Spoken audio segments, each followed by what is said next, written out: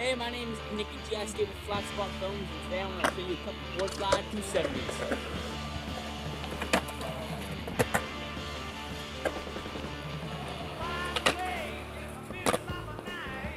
So the first thing you need to do with, with this trick is you need to learn on ollie. So uh, you gotta get your ollies down and uh, get them down here.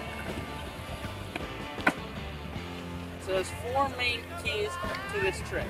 Speed, the grind, the wax, Alright, so if you don't have speed, you're not gonna grind the, all the way, you're gonna stick, you're gonna keep flying out, it's not gonna be good. And the grind, you need to have your back truck, like right around here, hit the ledge and make like a uh, noise. And uh, after that, the main thing of the trick is you to pivot out. So you try to go to fakie even with back wheels hit the ground, you pivot immediately and you get the trick.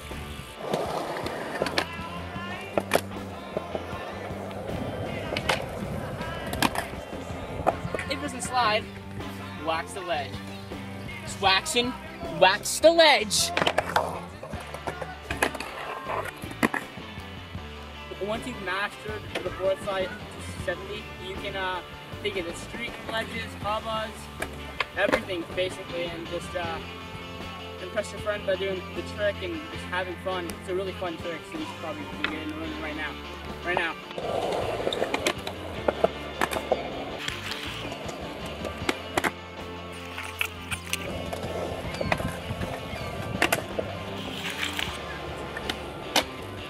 I hope that helped you learn the trick and uh, like and subscribe to the Flat Spot Films channel and follow us on Skate Amino.